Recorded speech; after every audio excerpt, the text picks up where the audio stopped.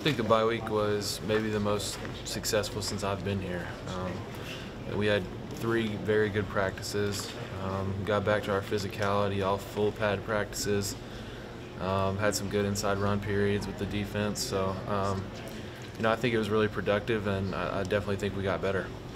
Left guard still. So, um, started out at left tackle, went to right tackle, went to left guard, bumped around. Um, I, I, guess I can just really play it all.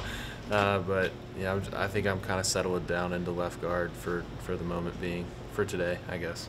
I just got to make sure everybody stays stays on track and, and, stays focused on, on the task that we have at hand. You know, we had a tough uh, loss, obviously, and then have a good opponent in South Carolina coming in here uh, in a noon game. So, um, you know, it was like basically saying that the bye week is not an off week.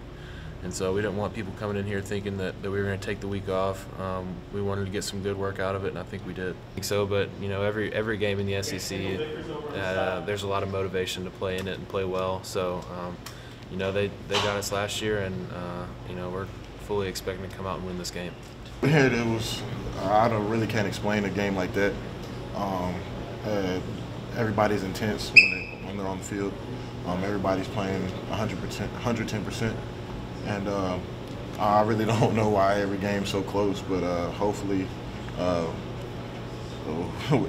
hopefully it doesn't have to be this close, but who, who knows? But uh, I know we're preparing our butts off. We're going to prepare um, like we do every week, and uh, hopefully we, are executing like we want to.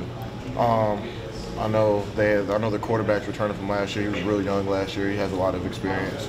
Uh, they got a bunch of playmakers on the receiver. Their old lines. I want to say they had a couple O line missing last week, but um, I know it's Tennessee, it's Tennessee, South Carolina, so I know they're going to come out and, um, and play play their butts off against us, and they do that every year. Yeah, definitely. I, I definitely think this is a rivalry game. Um, like I said, every game I played this since I've been here, it's been close. It came down to the last play, last uh, last drive, last series. So um, yeah, it's it's something you definitely have to go through to understand how how big of a game this is.